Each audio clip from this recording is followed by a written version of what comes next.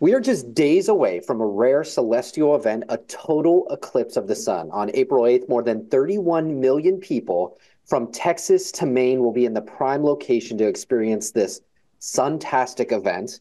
Even if you're outside the path of totality, though, you'll see a partial eclipse where the moon will look like it's kind of taking a bite of the sun, almost like a Pac Man sort of look.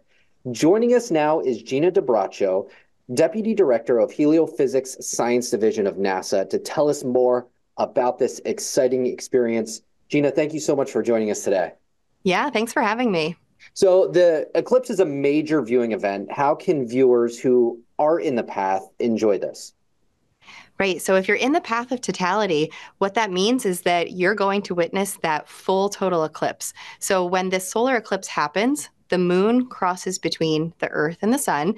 And when you look up into the sky at that moment of totality, you'll see the sun completely blocked by the moon so that you can actually view that upper atmosphere of the sun, which is known as the solar corona. And that's something that we can't see with our eyes on a day to day basis.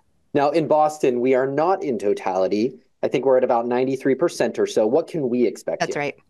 Yeah, so so for the partial eclipse, I mean, at 93%, you're so close to that totality, but you're not quite there, which means that you'll see most of the sun covered by the moon, but but not the full thing. So you won't get the full effect. However, it's going to be it's going to look to you like a really big chunk of the the sun has been bitten out by the moon, and you'll just kind of see that crescent sun that remains. So you'll still get a lot of changes in the atmosphere. Uh, you'll get to feel the the nature changing around you uh, but you'll still need to use that proper kind of safety gear with the, the eclipse viewing glasses for the partial eclipse. Gina, what are you most excited about for this eclipse? Oh, for me, so I I've had the opportunity to see the 2017 total solar eclipse that crossed through the US and then back in October I got to see the annular eclipse. And what I've learned from those is that each eclipse, the experience is very different. So, to really compare how each eclipse feels, both who I'm surrounded by, but also where I am, uh, I'm really excited to see how this upcoming total eclipse compares to those previous experiences that I've had.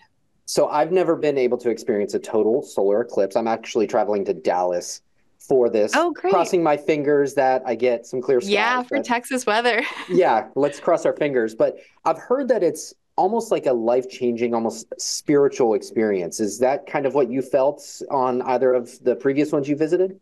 That's that's right. I mean, it's really hard to describe the feeling that you get when you're witnessing this. Um, it does kind of feel like an out of body experience and something that isn't actually reality and happening. Um, in fact, when the the annular eclipse took place in October, I was part of the NASA broadcast, and my co-host and I, as we were watching, we both got a little emotional um, unexpectedly during our broadcast because it is just something that you know you don't get to experience all the time, and it feels like a special event.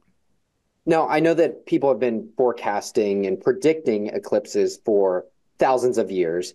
How can we predict these type of eclipses so far ahead of time? Right. So we have a, a really good handle on the knowledge that we need to predict these eclipses. And what happens, as I mentioned, you know, an eclipse, a solar eclipse occurs when the moon crosses between the Earth and the sun. So that means we have to have knowledge of the moon's orbit, how far away it is from the Earth, because that will dictate what type of eclipse you get, whether you get that full total eclipse, or when the moon is a little farther, you'll get an annular eclipse, which means you're left with a ring of fire in the sky. So we basically need to know how and when the Earth and the moon will align with the sun. And since we know all of that information, um, we can calculate it pretty far out just to understand when these eclipses will occur and what part of the Earth will be facing the sun so we know what locations will view them as well. Now, as a meteorologist, I have storms growing up that I remember that really kind of solidified my path into the career that I'm in now. What do events like eclipses do for the future of astronomy? Oh, so I think eclipses are great ways to engage, you know, the broader community and the public, and it's a way for people to really get involved and hopefully inspire the next generation of scientists, whether it is somebody interested in working on science in the Earth's upper atmosphere and just seeing how the eclipse impacts the atmosphere, or somebody that wants to become a solar physicist one day, getting the having the ability to really see that outer corona of the sun, that upper atmosphere. Um, we're looking for this as an opportunity for the public to get involved and hopefully inspire those minds for the future. Now, on that same note, I know that um, diversity in science and STEM subjects is super important as a woman yourself and the role that you're in.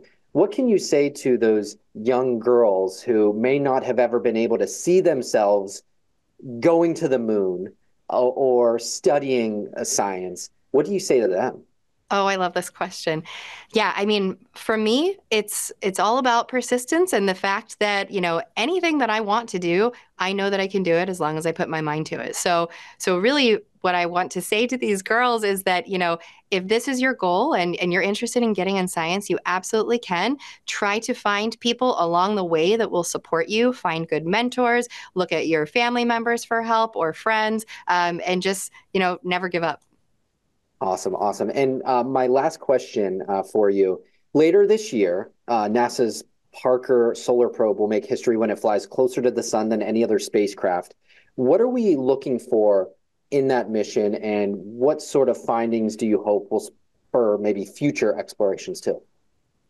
Yeah, so with the Parker mission, every time it flies by the sun, it's getting closer and closer. So this December, it will fly within 4 million miles of the sun. Now, that might sound far, but the Earth is about 93 million miles away from the sun. So Parker is flying through the upper atmosphere of the sun, the solar corona, and it's able to really understand, it's looking at the physics of how energy is transferred in this region, how particles are accelerated and heated away from the sun that eventually interact with Earth. And so, what we're really looking for here is to understand that fundamental physics of how things are operating on the sun. And that will help us to understand how other things work in our solar system as well. Awesome. Are you going to be traveling for the eclipse? I will be going to Texas too. So I will be in Kerrville, Texas, a part of the NASA broadcast, in fact. Awesome. Awesome. Well, we look forward to that broadcast. If people want to tune into the NASA broadcast, where can they go? Yeah, so check out go.nasa.gov forward slash Eclipse Explorer, and that will have the interactive map, and then it'll also guide you to where the broadcast is located. Awesome. Thank you so much, Gina DiBraccio, Deputy Director of Heliophysics at NASA. Really appreciate your time, and let's cross our fingers for that clear Texas forecast, right? Yes, sounds good. Thank you.